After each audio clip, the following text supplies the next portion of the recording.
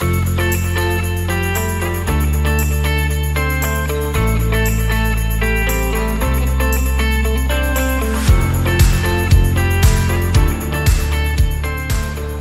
nói truyền cảm hứng cho sự nghiệp kinh doanh của Hiền đó là Đừng bao giờ sợ thất bại, bạn chỉ cần đúng duy nhất một lần trong đời.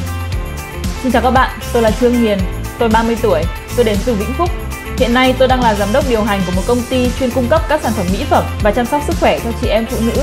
Hiền rất hạnh phúc vì đã lựa chọn công việc này bởi vì nó không chỉ giúp Hiền có thể xây dựng được một sự nghiệp riêng mà nó còn giúp Hiền trở nên xinh đẹp, tự tin, vui vẻ hơn mỗi ngày và điều khiến Hiền hạnh phúc nhất khi mà lựa chọn công việc này đó chính là Hiền có cơ hội kết giao, đồng hành, tư vấn và hỗ trợ hàng ngàn những chị em khởi nghiệp bằng nghề làm đẹp.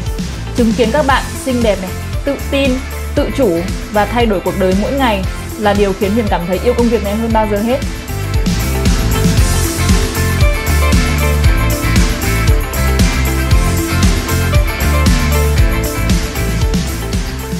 À, Hiền rất thích nấu ăn. Mỗi khi rảnh rỗi thì Hiền sẽ dành thời gian để nấu cho gia đình mình những bữa ăn ngon. Và khi nhìn cả gia đình quây quần bên mâm cơm do chính tay mình chuẩn bị Hiền thấy cuộc sống của mình ý nghĩa và hạnh phúc hơn bao giờ hết. Hiền rất thích đi du lịch và được cùng gia đình mình đi du lịch để khám phá Việt Nam cũng như là thế giới.